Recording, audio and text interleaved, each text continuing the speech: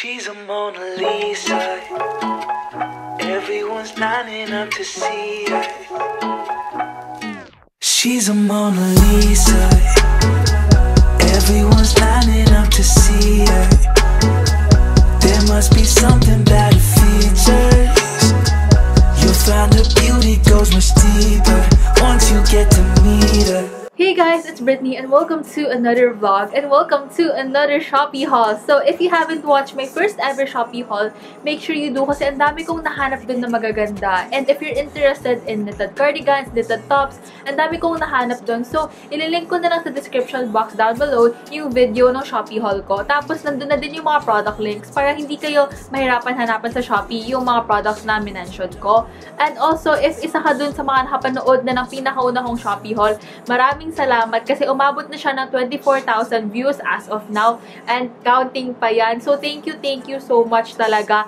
Kaya with that, malapit na rin ako umabot ng 1,000 subscribers. Kaya if hindi ka pa subscribe sa channel ko, make sure mag-subscribe ka kasi gaya ng minention ko in my previous video, malapit na ako magpag-giveaway. And na-decide ko na i-announce ko na yung giveaway mechanics today. So, stay tuned until the end of this video kasi i-announce ko yung mechanics by the end of the video. And hindi lang isa yung giveaway ko. I have another giveaway after this video. So make sure mag-subscribe ka talaga para madami kang chances of winning because I have back-to-back -back giveaways. Yay! And this is my first ever giveaway to thank everyone na nakasubscribe na sa channel ko and to thank everyone na naniniwala pa rin sa akin until now. And ngayon, papahita ko na naman ulit sa inyo lahat ng mga binili ko sa Shopee And assorted na naman to. May mga electronics ako, meron akong mga clothes, bottoms, I have accessories, ganyan. So, I hope that you will enjoy it like how you enjoyed the first video, my first Shopee haul. So, yes, let's start. So, unahin ko na tong sewing machine. So, if you have watched my thrift flip video, may kita nyo na nagamit ko na to before. At one month na to sa akin. And as of now, gumagana pa rin siya. Kasi natatakot ako dahil sa sobrang mura nito. Baka hindi na siya mag-work. Pero gumagana pa naman siya. And wala akong background kung paano gumamit ng sewing machine. As in, zero yung background ko.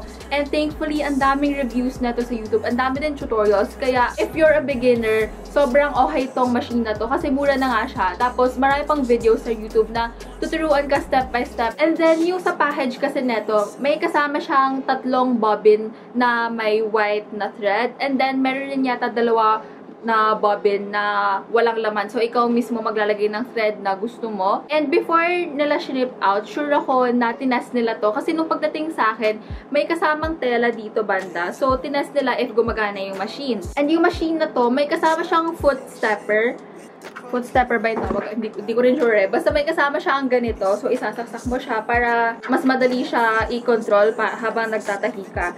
And may kasama din siyang ano, saksakan. Pag gagamitin mo daw sewing machine mo, pwede mo siyang gamitin with the saksakan or pwede ka rin maglagay ng battery. So, either will do. Pero itong sewing machine na to, ang pwede mo lang i-adjust sa kanya yung pagka-loose or pagka-higpit ng thread. Kasi sa ibang sewing machine sa nakikita ko, meron pa sila yung mga zigzag stitch, gano'n. Pero hindi ko na kasi alam kung paano yun. Basta ito, normal stitch lang yung nagagawa na ito. So, if mga basic slip flips lang naman yung gagawin mo, if magtatahi ka lang naman ng mga natastas mong damit, pwedeng pwede na to gamitin. Tapos, since beginner kasi ako, bumili ako ng ganito, ng table. So, ang purpose nito dapat is, ididikit mo siya here. And then, wait lang, pang ano siya, may fit yung table niya. So, ayan, ganito dapat ang purpose niya. Pero hindi ko siya nagagamit kasi medyo marupok tong table dahil every time gagamitin ko siya, like, may papatong akong cloth. Oh my God. May papatong akong cloth. Laging nahuhulog yung mga feet ng table niya kasi walang lock yung uh, feet eh. And personally, I think kahit beginner ka, hindi mo na talaga kailangan yon. Itong sewing machine, okay ka na, you're good to go. Yung susunod na binili ko ay itong wireless keyboard na, syempre, color pink, tsaka itong wireless mouse. So, magkasama sila sa isang package. And then, binili ko dapat to para sa iPad ko. Actually, wala pa nga yung iPad ko eh. Pero binili ko na to sa sobrang excited ko. And then, I realized, nung pagdating netong uh, wireless keyboard, hindi ko pala siya malalagay sa iPad ko kasi wala akong pagsasaksakan nito sa iPad ko, diba? Hindi ko naman ito masasaksak sa iPad ko unless may adapter ako. And marami nagbebenta sa Shopee. I think OTG yung tawag nila doon. Pero ang bababa talaga ng reviews. Hindi ko na siya muna binili kasi ang papangit na nga ng reviews tapos ang mahal pa ng shipping. So as of now, nakatambak lang muna to sa bahay. And syempre, kiniklaim ko na magkakaroon na talaga ako ng iPad kahit wala pa. Bumili na rin ako ng iPad case. So ngayon ko pa lang siya bubuksan. And of course, it's also color pink. And yung sa, ano kasi, description description ng product. Sabi niya hard case daw. Pero nung dumating sa akin, ano siya, medyo mukhang rubber siya. And ang problem ko lang kasi dito, kapag tumagal, feel ko maninilaw na siya. Alam mo yun, like usual rubber cases siya, silicone cases. Pag tumatagal sila, nagiging dilaw na. Pero okay na din tong product na to kasi may libre siyang stylus. Ayan, may libre siyang stylus pen. At may libre siyang screen protectors. At susunod ko na napapakita sa inyo ay yung mga damit na binili ko. At uunahin ko na yung mga sports bra or yung mga bralettes na nakuha ko. And this is the first one. Itong sports bra na to, you can wear this as a sports bra as is or as a top. Kasi ito yung details niya eh. So, susuotin mo to and you wrap it around your waist. So, parang may crisscross effect siya sa waist mo. Pero personally, uh, hindi ko pa to nagagamit pang labas kasi hindi siya mukhang crop top eh. Mukha talaga siyang bra. And yun nga, I have strict parents so hindi ko siya masusuot talaga sa labas. Binili ko lang siya for the design kasi nagagandahan ako sa design pero indoor ko lang siya ginagamit. So pa nag-workout ako, ito yung ginagamit ko. And what I love about this is that sobrang kapal ng pads niya unlike other na sports bras na nabibili ko. Like kahit branded pa sila, ang pangit ng pads nila kasi kahit labahan mo siya ng labahan, yung mga pads nila parang nagka-crumple, yung luminipis ganun. Pero ito, hindi. Kasi ang kapal talaga ng pads niya, kaya ang sarap gamitin. And yung next na papakita ko sa inyo, I feel like alam mo na to, Lara, if fan ka nito ni Sia kasi lagi niya minamention to sa Instagram stories niya and meron na rin siyang vlog about these sports bras ka. If you have watched it, feel ko aware ka na rin to sa mga sports bras na to. And ever since kasi, I always trust her reviews. Kaya lahat ng mga nire-recommend niya, kadalasan yan, binibili ko talaga. And this was one of her best recommendations kasi sobrang mura ko to nabili. Ito yung sports bra and I bought three colors. So, bluish gray, black, and and the nude color. Actually, ang gusto ko talagang colors na bilhin ay yung purple na medyo pinkish, tapos yung green. Kaso, every time na binabalik-balikan ko yung shop na yun, lagi siyang out of stock. So, ang kinuha ko na lang ay yung ibang colors. So, ito na nga yung nakuha ko. And sobrang sulit neto kasi less than 100 pesos each na nga. Tapos, ang ganda ng quality. Although yung pads niya, hindi gaya dun sa kanina na pinakita ko sa inyo na sobrang kapal. Ito, mas okay pa rin yung pads nito compared dun sa mga sports bras ko na Nike, ganun Adidas. Mas mas trip ko pa to suotin. And what I like about this is that pwede mo siya suotin din as is, so as a crop top, kasi hindi naman talaga siya mukhang bra na bra. So, pwede mo siyang gamitin as a crop top, or pwede mo rin siya gamitin pang workout.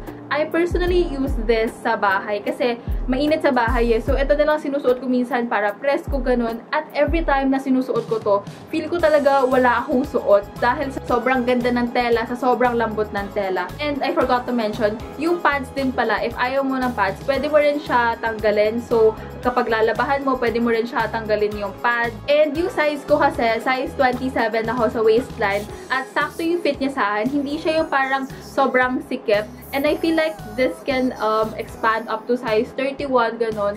Unlike my usual sports bras, wala silang adjustable straps. Ito, meron silang adjustable straps. So, pwede mo rin siya actually gamitin pang araw-araw na bra. Kasi, yun nga, yung mga normal bras natin may mga wire. So, parang hindi siya comfortable sa feeling. Pero pag ito yung ginamit mo, parang wala ka talagang suot. Yun, sobrang ganda talaga na itong product na to. So, kahit anong color na yung bilhin nyo, basta makuha nyo itong product na to, sobrang sulit na. So, proceed na ako sa mga tops na nakuha ko. And I got two. So, I got two black tops. Unahin ko na to. Actually, itong top na to, dapat sa pinakaunang Shopee haul kasama na to. Pero kasi, hindi ko siya chinek out. Nasa cart ko lang siya ever since. Kasi namamahalan ako. Dahil kasama na yung shipping, umabot siya ng 340 pesos. And to be honest, pag umabot ng ganun yung price ng damit sa Shopee, medyo hesitant ako bilhin. Kasi what if hindi ganun kaganda yung quality? Lalo na hindi ko pa siya nakikita in person.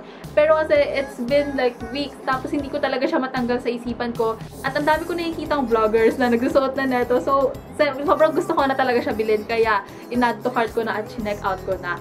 At yung design neto ay yung parang cheongsam. So, if hindi nyo alam yung cheongsam, isipin nyo yung mga waitress na nakikita nyo sa mga Chinese restaurants, yung may parang pa-collar dito. Ganun yung itsura netong top na to. Tapos, I also got this in a size medium. So, as usual, kasi pag bibili ako like overseas, I only get medium. Kasi, pag small, feel ko medyo maliit na siya sa akin. Nababasa ko sa comments kasi, ang sinasabi nila, yung tela daw neto, mainit sa katawan, ganun. Pero personally, I think hindi mainit sa katawan yung tela. Kasi nagamit ko na to before. So, sa previous vlog ko, ito yung ginamit kong damit. At hindi ako nainitan. And yung tela niya kasi, hindi siya parang leotard na pag pinagpawisan ka, nagsastock na dun yung pawis. Ito hindi talaga kasi ang lambot ng tela. Tapos, crop top siya. Pero sa akin kasi, since malit ako, hindi na talaga siya counted as crop top. It's like a normal top para sa akin. And siguro ang masasuggest ko lang, if medyo malaki yung chest area mo, get a bigger size kasi para hindi masyado masikapan yung chest area mo. The other black top that I got. So, ayan, puro black tayo kasi nakakapayat daw yung black. Kaya puro black yung mga binili ko. Ayan, I also got a knitted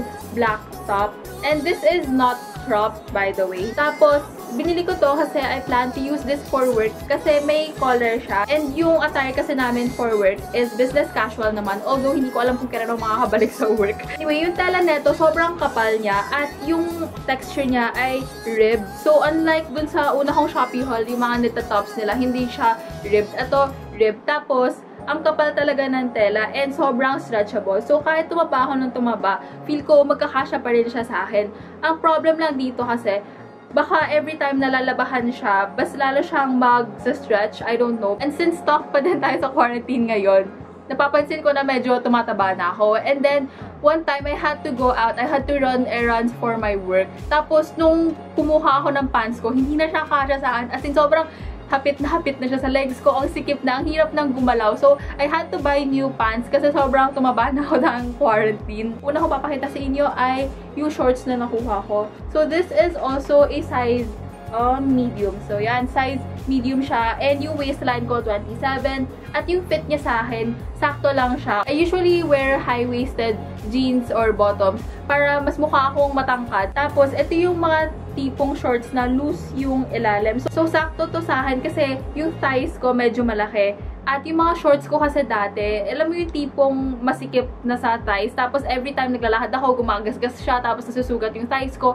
Ito, ang comfy niya suotin. Kasi malaki yung hole niya for the thighs. So, you can pair this with a crop top or mga loose tops, ganun. And ito yung mga tipong shorts na gusto ng mom ko sinusuot. Kasi dati yung mga shorts ko, as in short shorts talaga. So, hindi siya maganda tignan. Eh, medyo conservative yung family ko. So, if you have a conservative family and you wanna wear shorts, ito na yung pinaka-okay na shorts na nahanap ko sa Shopee. And then, kumuha din ako ng overrun Zara jeans. So, this is another, Tony Sia made me buy it. She always mentions it on her Instagram stories. And, ayun, nasaktohan na kailangan ko talaga ng pantalon. Kasi wala na nagkasya na pantalon. Kaya, ito, viniset ko na, viniset. Kaya yun, viniset ko na yung shop na sa Shopee. Ang problem lang dito, halatang hindi talaga siya original. Kasi may kita mo pa lang sa tag na hindi na maayos yung stitching and then wala sa gitna yung logo. Pero I really don't mind that kasi as of now, kailangan na kailangan ko talaga ng pantalon kasi what if tawagan na naman ako ng work ko na I need to go there, I need to go there. Itong shop na to, sobrang bilis nila mag-ship out. Parang kuwari nag-order ako today. After 2 days, darating na siya sa akin. And before nila i-ship out, yung seller, nagsasend din ng picture para ma-check mo if tama yung product na i-ship out nila.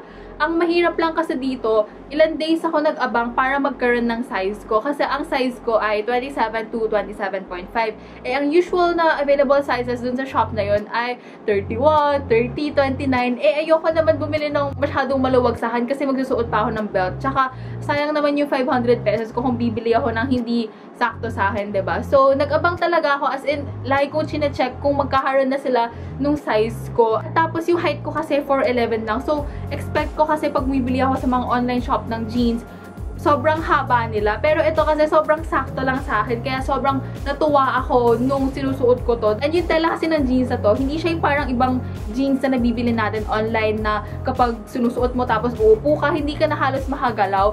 Ito kasi, once na umuupo ka, parang makakagalaw ka pa rin comfortably. Eh, ang ganda talaga ng fit neto sa akin. So, baka sa susunod, bibilin ko yung ibang colors kapag kailangan ko. Pero as of now, ito lang muna kasi yung kailangan ko. And then, I also bought some accessories. So, madalas ko itong nakikita sa mga vloggers and sa mga Instagram shops. Pero kasi namamahalan ako sa Instagram shops. Tapos, hindi ko din kasi sure if bagay ba yung mga necklace na to sa akin, itong mga accessories. Kaya I had to buy sa Shopee na lang talaga.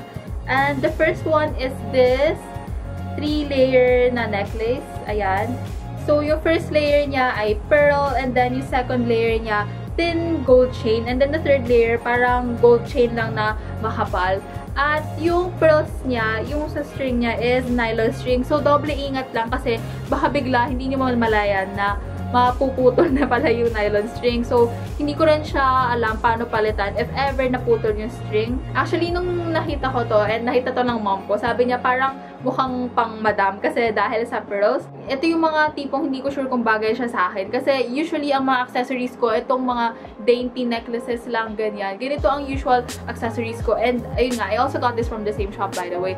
At hindi ako sanay na nagsusuot ng mga layered necklaces kasi parang it's not really my aesthetic. Pero I think that this is a good accessory to pair with basic outfits. So if you're wearing a plain shirt, ganyan, ang ganda na itong accessory to add on. And actually, kinukuha na to ng mom ko kasi nagagandahan din siya because of the pearls. So, kumuha din ako ng isang necklace, yung may padlock padlock, ganyan. Kasi yun yung nauuso ngayon. So, same sa kanina, tatlo yung layers niya. Ang pinakauna niyang layer ay yung heart. And then, meron siyang single na gold chain, single chain. And then, sa dulo ay yung padlock. So, medyo natawa yung mom ko nung nakita niya to. Kasi bakit daw magsusuot ng padlock, ba diba?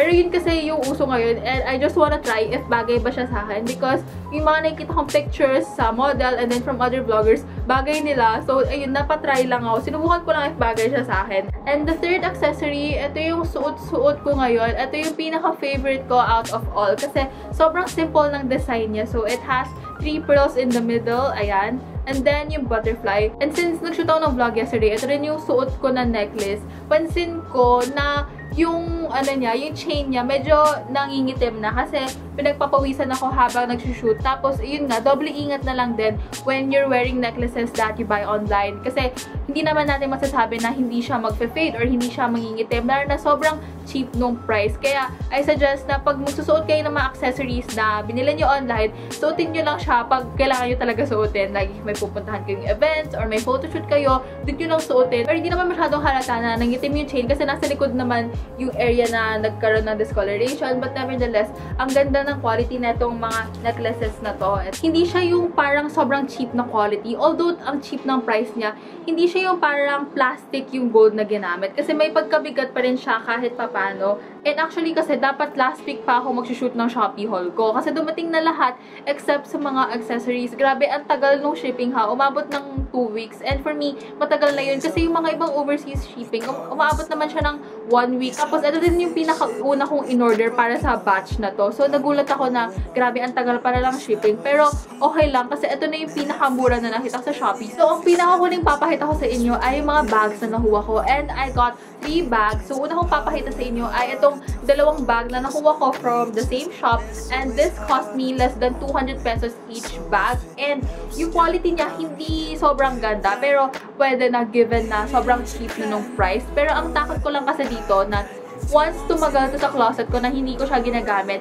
feel ko magbabakbak yung leather niya. And nung nakuha ko kasi to, uh, medyo, ano na yung, may creases na yung ibang parts ng bag. So, yun lang yung naging problem ko dito. And usually kasi, pag naghahanap ako ng bag, ang pinaka-importante, magkasya yung wallet ko. Kasi, ganito kalaki yung wallet ko. And ever since, sinasabihan ako ng mom ko na I should change my wallet. Pero, hindi ko pinapalitan kasi ang daming laman na tong wallet na to. Like, everything that I need is in this wallet. At sobrang bigat na tong wallet na to. Hindi dahil sa pera, pero dahil sa sobrang daming resibo, ganyan, mga calling cards. Kasi I have to keep them in one one place. And ako kasi burara akong tao.